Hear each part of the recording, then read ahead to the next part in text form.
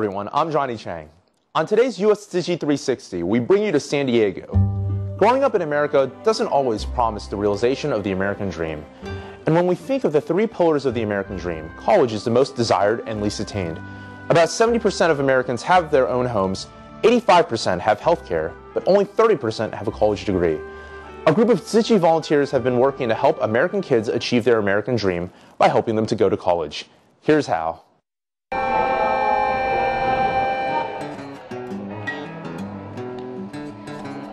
My name is Sally Aguilar. I'm 16 years old. I live in Oceanside and I go to Oceanside High School.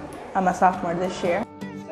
Plan for the future is going, graduating from high school, going, getting, getting my two degrees I really want, my master's degrees and my bachelor's degrees. Sounds like a simple dream, but it's so hard for an Oceanside kid to accomplish.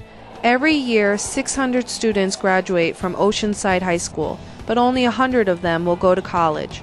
One third of the residents in the community don't speak English, and 10% of them are living in poverty. I came from Mexico City when I'm uh, eight years old. So basically, I only got two years in the school. So it's a little. I wanna. I when I grow and I want to come in something, you know, like. Uh, uh, when my my daughter hopes to do something better. This is not easy for Dahlia. As the oldest daughter of this single parent family, she juggles school and housework. But Dahlia has a plan. She joins Everybody Reads, a free after school tutoring program sponsored by the Tzu Chi Foundation. Everybody Reads is a community support program which provides equal academic learning opportunity and free one on one tutoring to children from problematic or low income families. All the tutors are volunteers from the University of California in San Diego. I've been in here for three years, so I started seventh grade. Dahlia is living with her father. Her father has to find odd jobs in the daytime, including Sunday morning. So, really acting as a mother, she's raising her two young brothers herself.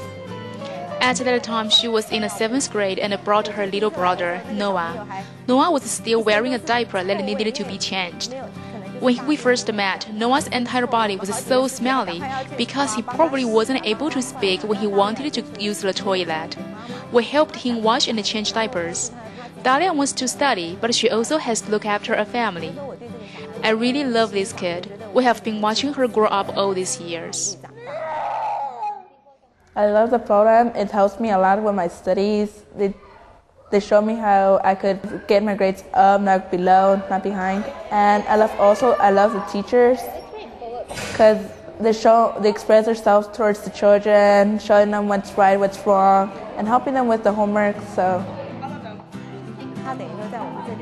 Dahlia has been growing up with her Everybody Reads program. At first, she was our student, and now she's our Tzu Chi volunteer. She helps us to take care of the children in this community. I love teaching children and inspiring them with experience, experiencing what they're learning at school and inspiring them what they want to do. She told me that she has seen many tutors, either teaching youth, youth or teaching volunteers coming to teach in class. Every one of them is very knowledgeable, so she has also made up her mind. She has decided to go to college and get a bachelor's degree. There's two majors I want to be doing, going to college, possibly, if I could. There's nursing and teaching. I don't want to be far away from my family or from my friends because I'll miss them and I'm not going to enjoy it being at school without them and supporting me and cheering me on. And also, there's two, there's three or four colleges I want to go near Oceanside. I feel that she is very ambitious, so I also encouraged her and said, Dahlia, you come to study. Now you are our Tzu Chi volunteer. One day, you will be able to give back to your own community. The program offers not only general education but also moral education. After class, the tutors lead students to clean up the playground. Then all the students gather together to listen to one of the tutors read an aphorism to encourage them. Is every little bit of effort now will become the fruits we reap tomorrow. So, uh, do you know what this means? Every little bit of effort now, it will benefit you in the future. Finally, all the students line up to thank the tutors for this day's session. I don't know what she do there. I never been there, but she come in so excited and say, "Oh, I learned this, I learned that," and thanks for help her. And uh, hopes on the future is uh, at least it's a sample for the Hispanic peoples. Three years ago, Dahlia walked into the door of the program Everybody Reads with an uncertain hope to improve her academic performance. Now she has a real plan to not only do well in high school, but also go to college, get a master's degree, and even help her own community. People say that education is the cure to poverty, and Dahlia now has the confidence and weapon to conquer the mission. In the future, Everybody Reads hopes there will be more and more Dahlias in the community.